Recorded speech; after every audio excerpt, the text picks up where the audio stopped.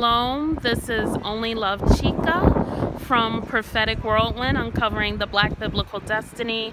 I'm coming from you live from Morocco, North Africa, and I'm here because my flight to Ghana um, to be with the Hebrew brethren over there and to rest and work on some projects which changed without my permission and made a day earlier, but it means that I have a day layover in Morocco. I got a free stay at a beautiful hotel and it actually showed me the importance of finding Yah in the journey and allowing Yah to change and alter our plans for something better. Sometimes we want things to go a perfect way. We get frustrated when we have denials, when we're held up.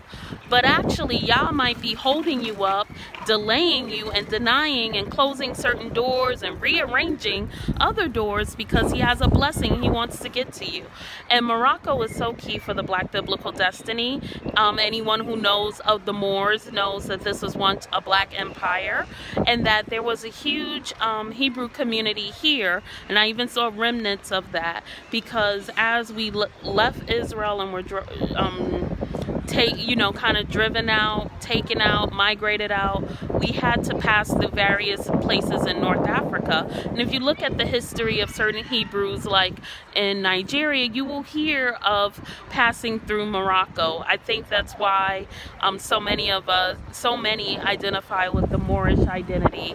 And it's just a blessing to be here to walk to see the people um, and to just see um, this beautiful country and to be here but I didn't plan on being here which shows that sometimes you're gonna be blessed in ways you didn't plan on being blessed. And so we have to be flexible thing um, that Morocco can teach us is how important it is for us as um, people of black African descent. If you want to say Hebrew, you can say that. It's so important for us to guard um, ourselves, guard our communities, guard our bloodlines because you can actually be pushed out when you don't.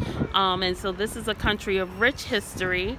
Um, sometimes I think in the Hebrew migration story, Morocco gets left out and we hear a lot about Egypt and you know you may even hear about Cyrene and Libya but Morocco was an actual um, key place that many Hebrews had to pass through. And so I'm blessed to be here today and I want to thank everyone for the prayers and the support.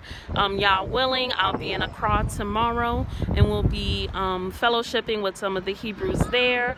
Um, also we'll be fellowshipping with the Hebrews in Nigeria and doing um, some women's ministry and if you are of ancient Hebraic womanhood, we will be tomorrow, um, 7 p.m. Eastern Standard Time, and I'll be coming, Yah willing, live from Ghana. But I just wanted to encourage you that there's blessing in the alteration, there's blessing in the delay, and there's blessing in the journey.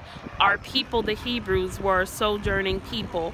And so as we travel and sojourn, we actually get to um, know more about their experience because when you journey far from home, you have to trust Yah in ways you never thought you did. And so, shalom, be safe, be healthy, and be whole. Take care.